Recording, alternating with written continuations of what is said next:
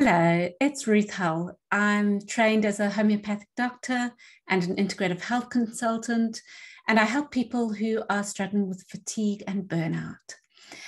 Today, I'm going to give you three things you should never do when you're trying to change your health and you have a family.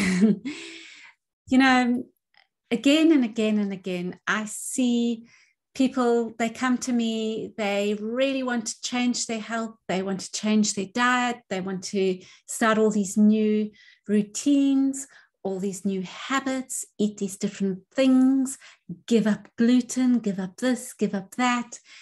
And the next time i see them they've given up on their new ideas and their what they want. The reason being because they can't get their family to back them. They can't get their new lifestyle to work with their family. And it's not always easy to recommend to people what they should do and how they can get things to work with their family. So I'm just going to tell you the three things I've noticed with people over time, um, three common things that people do and end up failing in their new health regime. The first thing that a lot of people do is they go home and they want to change everything in one go. So, an example is somebody comes to me with um, chronic fatigue and we go through their um, what they're eating and how they're feeling and that person decides that they're going to give up gluten and they go home and um, they try giving up gluten, but they want to just cut it out of their lives as soon as possible. They go home, they go through the cupboard, they throw anything with gluten out the house, they buy all this gluten free bread, they, um, you know, they, they change everything in one go. and that is fine if you don't have a family. But if you have children or if you have a partner, husband or wife who does not want to give up gluten, who thinks you're crazy, it's going to end up in arguments. Um, I actually had um, one client whose partner started cooking him more cakes than ever before. So he would get home from work and there would be a cake cooked. And he'd say, No, thanks, I don't want it. And she would get really upset, saying, But I've spent ages cooking this cake. And he said he felt it was almost as if she was doing it on purpose. It's funny the things that um trying to it's funny when we try and change habits or we try and change a certain way of living. It's funny how our partners react or our family reacts because people don't like change. So the first mistake is trying to change everything too dramatically. Instead, just make tiny little changes, tiny little tweaks or adjustments that people don't really notice.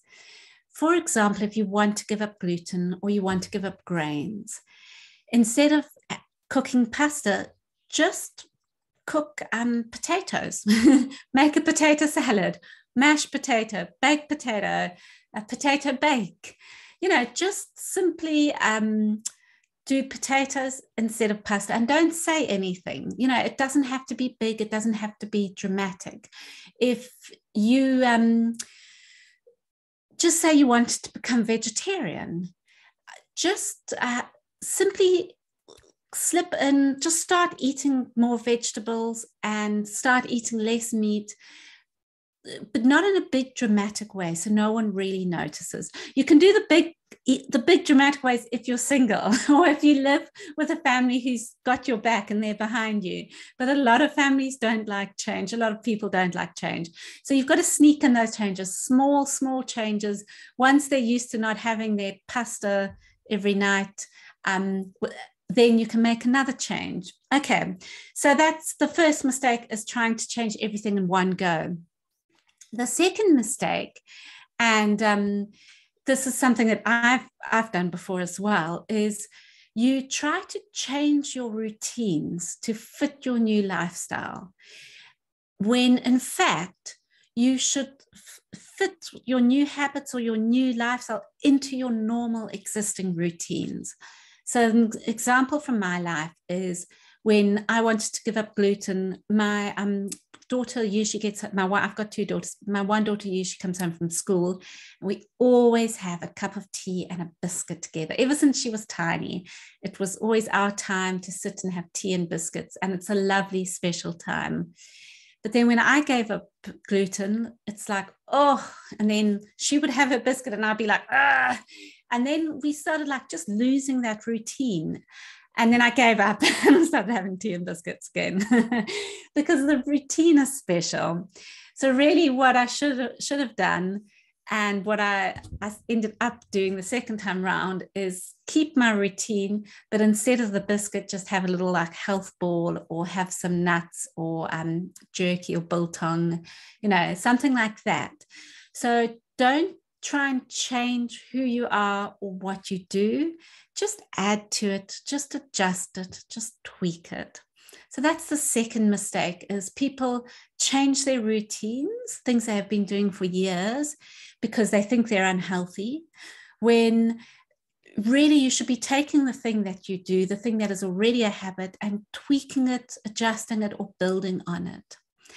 And then the final mistake, which is the biggest, biggest mistake, something I'm very guilty of as well, and something I see all the time, especially, and I apologize to you mums out there, but I see this especially in women who have children. So in the mums, I see this a lot, is that you've decided that you need to change the way you eat. Therefore, the whole family must change the way they eat at the same time. Again, for example, you've decided you want to give up sugar because you know how bad it is for you. Therefore, your kids are not allowed sugar and you change it just like that. and then your kids end up furious. It becomes a battle of wills. You know, um, so that is really, I think, the biggest mistake I see. Um, you decide you want to be vegetarian, therefore the whole family has to be vegetarian. You decide you want to give up gluten, therefore there's no gluten in the house. And it doesn't work. It's not sustainable. It's just going to cause chaos and stress and problems. So, your health journey is yours, and you've got to make it fit in with your families. You can't really make them fit in with you. You've got to make your health journey fit in with who you already are and what you already do. Okay, it is difficult. it really is difficult to change your health. And um, that's why you've got to take it one step at a time. You've got to do one tiny little change at a time.